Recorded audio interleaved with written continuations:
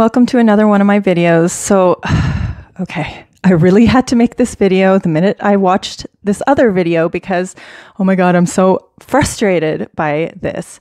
So, this is a video by Happy Healthy Vegan. And if you just look at the title, Megan Bowen forced by doctor to quit vegan diet, bleeding intestines. Okay. Her intestines were bleeding. I feel so bad for her. So then Ryan decides to make this video criticizing what she decided to do in order to fix her bleeding in- intestines. And she used a vegan diet to try to fix her problem. She has IBS and she decided to take um, certain high fiber foods out of her diet. That's what she called them, and go on basically kind of like a keto version of um, vegan using soy and nuts and stuff like that to try to fix this IBS problem. Now, Ryan pulls out this one study. He says the science is behind us here. It says it's widely believed that IBS is caused by a deficient intake of dietary fiber. So clearly, she's just not getting enough fiber. That must have been the problem. She must have been eating low fiber foods before when she clearly said she wasn't. And it's basically taking what she said and not believing it at all. And this is hardly the science. I'm making quotation marks right here with my hands because, um, like, there's tons of studies out there. You picked one study and you were showing this, and and this is just like one part of the study. What happened in the study? So, this was just from the study that Ryan lists, and it says dietary fiber acts on the gastrointestinal tract through several mechanisms, including, including increased fecal mass with stimulation, irritation of the colonic mucosa with increasing secretions and peristalsis, fermentation byproducts, particularly short chain fatty acids on the microbiota, immune system, and neuroendocrine system so clearly, it's not just the fermentation byproducts that can cause problems with the GI tract. There's many different things, and in this particular study, they actually recommend supplementing psyllium for IBS symptoms. I don't know if that's a great idea, but that's what this study found. Then Ryan goes on to recommend a low FODMAP diet because I guess that's what's recommended for IBS. And in it, he highlights here tofu, but if you keep reading, tempeh, peanut butter, many nuts and seeds, many fruits and vegetables, added fats, condiments, gluten free grains. So, all of the things she basically said she was doing, she was doing nut butters, she was doing tofu and high fat diet.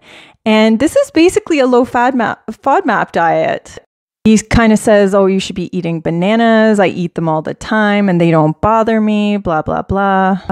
She mentions that she's allergic to soy. So then Ryan decides to plug his own books here and says that, you know, there's only one recipe or something like that in his books that uses soy and that there's tons of things you can eat that's not soy.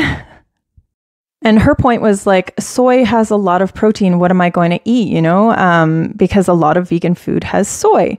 So he goes on to recommend something called duckweed, which, of course, he is sponsored by, or he has a link in his description to get, um, you know, a discount or whatever. And he's saying, you know, duckweed has tons of protein, and he's basically in one hand, he's saying you don't need that much protein on a vegan diet. And then on the other hand, he's plugging this protein that he has um, a sponsorship from. Uh, so it just doesn't really make sense. Like it's kind of hypocritical to say that, well, that's a myth that you don't need protein on a vegan diet, but I do take protein, and here's my sponsored product.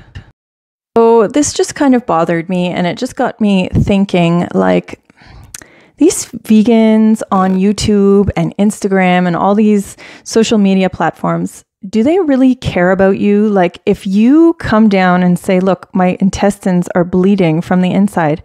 Are they going to sit with you at your hospital bed while you get pumped with all these, you know, chemicals and medicines to try to save you?